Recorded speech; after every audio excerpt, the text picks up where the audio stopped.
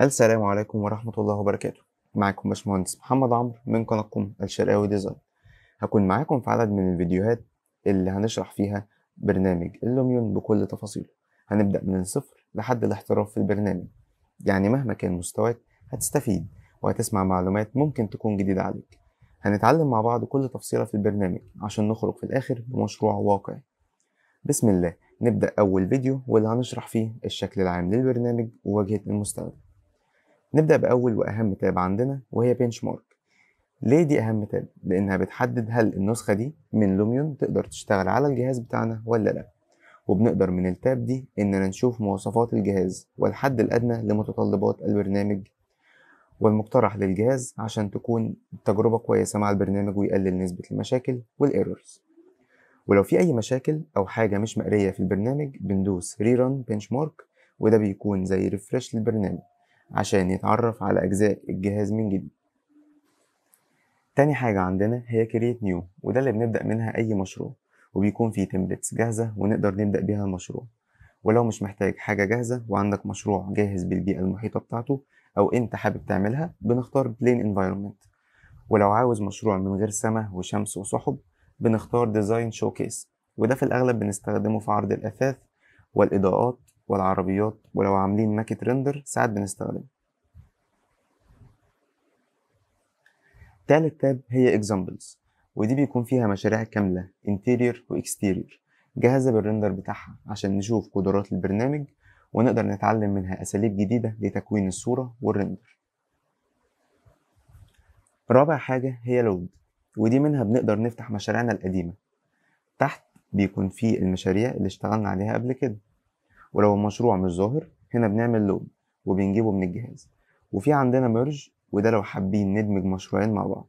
وعشان يشتغل محتاجين نكون فاتحين مشروع بالفعل وندمج معاه مشروع تاني عليه.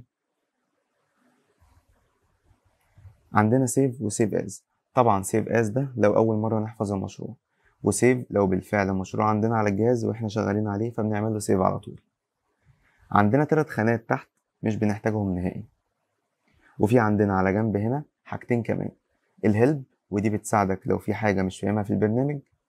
وفي settings ودي بتكون إعدادات المشروع وبتتكون من كذا حاجة. أولهم ال image ودي بتكون إعدادات الصورة. بتتكون من خمس حاجات. أولهم ال editor quality ودي بنقللها كل ما المشروع ما يكبر. لأن كل ما المشروع ما يكبر ال assets بتاعتنا بتزيد والمساحة بتزيد. فبالتالي المشروع بيتقل والحركة بتكون تقيلة قوي فبنبدأ نقلل ال editor quality وال editor resolution بحيث إن المشروع يبقى سريع تاني. ال editor resolution دي بتتحكم في ال 3D بتاعك بتخليه pixeled شوية ولكن مش مش لدرجة وحشة يعني. فيستحسن كل ما المشروع ما يكبر بنقلل ال editor quality وال editor resolution تاني حاجة ال proxies ال proxies دي بتنطبق على ال assets بتاعت البرنامج مش الموديل اللي إحنا عاملين له import دي بتعمل إيه في ال asset بتخليها عبارة عن box أو rectangle أو cuboid إزاي؟ هي بتحفظ مكان ال asset اللي أنت حاطه وبتحوله لمربع أو مكعب. ليه؟ عشان ال 3Ds اللي في المشروع تقل فبالتالي المشروع يبقى أسرع. ال high quality trees ده طبعا بينطبق على الشجر بس وده بيحول الشجر ل 2D كل ما تبعد عنه. يعني لما بتبعد عن الشجر لمسافة معينة الشجر ده بيتحول 2D عشان يحافظ على سرعة الجهاز. لما بتقرب له بيقلب 3D تاني. ال auto update preview دوت بيكون في ال render mode ويستحسن إن إحنا نقفله. ليه؟ لأن دوت لما بتشغله اوتوماتيك كل ما تغير حاجة في ال في ال effects بيقوم عامل على طول عامل update للصورة أو لل render بتاعك. ده ساعات بيكون بيتقل الجهاز. ليه؟ لأن ساعات ال effects بتزيد والمشروع بيكون كبير فالجهاز بيتقل. فإحنا بنقفلها وكل ما نحتاج ن update للصوره بندوس عليها بتعمل update عادي. تاني حاجة عندنا input input فيها ثلاث حاجات. أول حاجة enable tablet input. ودوت لو أنت عندك graphic tablet وتوصله بالجهاز وعايز تشغله فبتفعل ال option ده. لو مش عندك بتقفله invert mouse Y axis دوت بيلعب في ال Y axis بحيث انت لو طلعت بالماوس لفوق الصورة تنزل لتحت. ولو نزلت بالماوس لتحت الصورة تطلع لفوق. عكس الطبيعي. الطبيعي ان انت لما بتطلع لفوق الصورة بتطلع لفوق. ولما بتنزل لتحت الصورة بتنزل لتحت. فأغلب الوقت ما بنشغلهاش. في برامج بتستخدم ال Y axis inverted فبالتالي لو شخص متعود عليه فبي invert ال mouse. ال usage analytics دوت بنفعلها لو انت حابب تشارك في ال customer improvement دي حاجة تبع الشركة إحنا في الأغلب ما بنفعلهاش. ولكن ال developers بتوع البرنامج اللي هم شغالين بيفعلوها عشان أي errors أي حاجة بتتبعت على الشركة direct تالت حاجة ال system وده بيكون فيه ال settings الرئيسية بتاعة البرنامج. أول حاجة mute sound effects ليه؟ لأن البرنامج نفسه فيه sound effects فلو إحنا حابين نشتغل من غير ما تكون ال sound دوت مأثر عليك فبتعمل له mute لما بتيجي حابب تسمعه بتقفله تاني. use imperial units دي هو البرنامج metric بيشتغل بالمتر. فلو انت فعلت ال imperial units هيشتغل بالإنش. تمام؟ فإحنا في الأغلب بنقفله لأن إحنا في مصر بنشتغل بال imperial units ده برضه على حسب أنت بتحب تشتغل بإيه. ال write error log ده برضو لو في أي error بيتبعت على الشركة اوتوماتيك أنت حابب تقفله أو تفتحه ودي حاجة ترجع لك.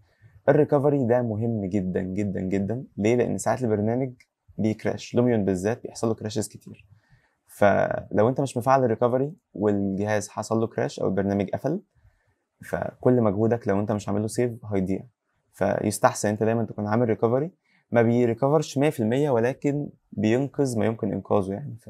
فده مفيد بالنسبة لنا ال full screen ده طبعا بيخلي الصورة بتاعتك full screen أو لا auto download updates دوت لو انت عندك ال license مش crack فبالتالي بت...